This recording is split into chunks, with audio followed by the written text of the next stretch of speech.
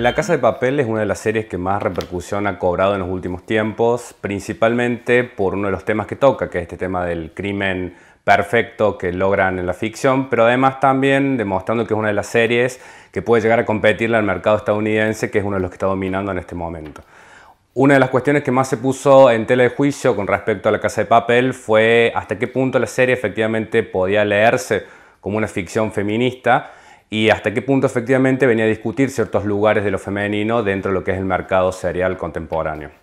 Cuando uno mira a simple vista la serie, es una serie que tiene una gran profusión de personajes femeninos. Está el personaje de Tokio, que es el principal, es la narradora, de hecho, y quien introduce la ficción, quien nos presenta cómo se está desarrollando la ficción. También está el personaje del oficial, que cumple un rol muy importante porque está dentro del orden policial y es quien además tiene que hacerle frente a estos criminales. Pero quizás el personaje donde más se vea esta discusión de lo femenino sea en el personaje de Nairobi y en aquel episodio que ha sido tan debatido y tan discutido, que es donde ella introduce la posibilidad de que un matriarcado vuelva a dominar dentro del sistema. El capítulo en realidad eh, se basa en un problema de lo que es eh, un poderío interno entre ellos, una discusión de poder entre quién va a dominar y quién va a manejar este, a este grupo, este clan de ladrones y la discusión de lo femenino surge dentro de este contexto para después pasar desapercibida por otros problemas eh, más importantes que son, por ejemplo, dentro de la trama, lo que es el desenlace del crimen y el enfrentamiento con la ley. Eh, hay que recordar que de un tiempo a esta parte lo que la ficción está mostrando no es nuevo. Eh, desde hace algunas décadas los personajes otros, las alteridades han empezado a cobrar mucho más protagonismo dentro de las ficciones seriadas. Hay eh, personajes que en otro momento no podrán haber estado dentro de la escena, como son asesinos seriales, criminales, como en este caso. Eh, también el personaje de lo femenino, el rol de lo femenino ocupa otro lugar. Hay mujeres mucho más desenvueltas que ocupan lugares no tradicionales, que tienen posesión de armas, eh, que tienen un rol mucho más preponderante frente al sujeto masculino y que han empezado a mostrar que aquellos lugares canónicos de la cultura se están empezando a discutir o a poner en tela de juicio. Particularmente la Casa de Papel lo que hace es combinar estos dos lugares, el lugar del crimen y el lugar de lo femenino, y poner en cuestión efectivamente qué es lo que la cultura contemporánea está considerando como lo normal y principalmente qué rol está ocupando la mujer, no solamente dentro de la ficción, sino también dentro de la sociedad que la ficción refleja o refracta.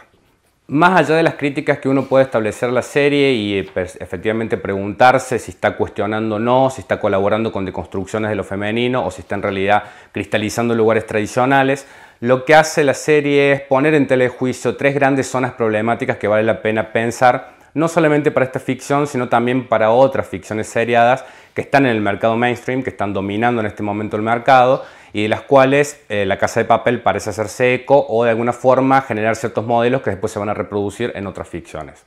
Pienso, por ejemplo, en tres lugares principales. Eh, por un lado, hasta qué punto efectivamente es posible una representación de lo femenino que no tenga que acceder a ciertos lugares de lo masculino para poder llegar a un rol heroico. Es decir, hasta qué punto no es necesario que las figuras se, masculinicen en algún sentido, no solamente en su representación física, sino también en lo que es sus conductas, sus comportamientos y sus prácticas y la forma en la que acceden a las situaciones de poder.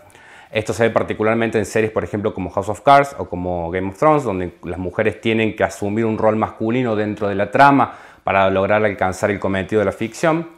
Y en relación con esta cuestión, un segundo punto es qué tipo de poder están poniendo en escena las series actuales qué es la construcción de poder que están demostrando y qué hace una mujer cuando accede al poder, si ese poder tiene que cambiarse o tiene que acceder con ciertas reglas masculinas. Nuevamente, House of Cards es una serie para pensar eso particularmente, en cómo ha ido avanzando en los avatares de la ficción el personaje principal y también se ve muy claramente en otras series mucho más complejas como Juego de Tronos.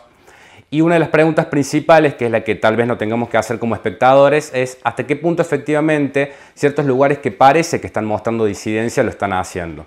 Porque aunque haya una profusión de personajes femeninos, como pasa en La Casa de Papel, y aunque los personajes femeninos cobren mucha preponderancia y protagonismo, lo cierto es que hay ciertos lugares tradicionales, es decir, eso que la cultura considera como lo normal, entre comillas,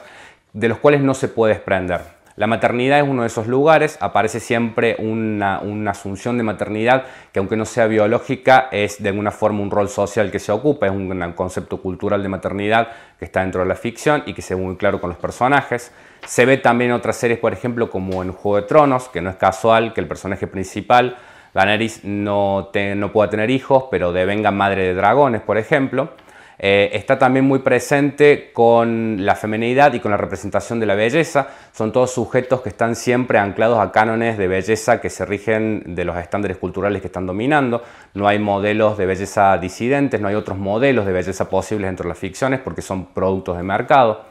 También son sujetos que siempre están atados a lo emocional. Es un lugar muy tradicional de la cultura pensar que la mujer es un sujeto más emocional y que el hombre es mucho más racional. Y desde ese lugar la serie lo trabaja profusamente. El personaje de Tokio y el personaje de Nairobi son dos casos particulares en los cuales se puede ver eso con mucha profusión. Son personajes que se dejan llevar por sus emociones. Incluso también eh, el oficial Murillo es un personaje que se deja llevar por sus emociones y que de hecho hasta llega a perder el oficio que tiene o dejar de lado el oficio que tiene dentro de la ley por un rol y por un anclaje emocional. Y en relación con este punto también, una de las cuestiones más importantes que trabajan las ficciones en cuanto a lo femenino es que no se desprenden de un lugar y de un discurso amoroso que está siempre presente. Son personajes que de una u otra, de una u otra manera, tanto sea en lugares heterocentrados o disidentes, lo que están mostrando son una imposibilidad de desprenderse del discurso amoroso. Toda trama tiene que terminar siempre con la posibilidad de un encuentro entre las parejas y la mujer está supeditada siempre a esa construcción de lo femenino. Estos tres, estas tres grandes zonas problemáticas los rasgos de lo femenino canónico, de lo que son las formas de poder y de lo que es particularmente la construcción de, estas figuras femeninas o masculinas o de los roles de lo masculino como roles de trama, eh, lo que están poniendo en escena, lo que ponen sobre la mesa, más allá de que uno los pueda discutir como lugares positivos o negativos, es que lo que están permitiendo es que los espectadores se cuestionen efectivamente qué es la representación de lo femenino que se está poniendo en cuestión en este momento. Eh, representación en el doble juego de la palabra, ¿no? como presentarse como un sujeto femenino y representarse también como un sujeto ficcional dentro de, estos textos masivos que son las series de TV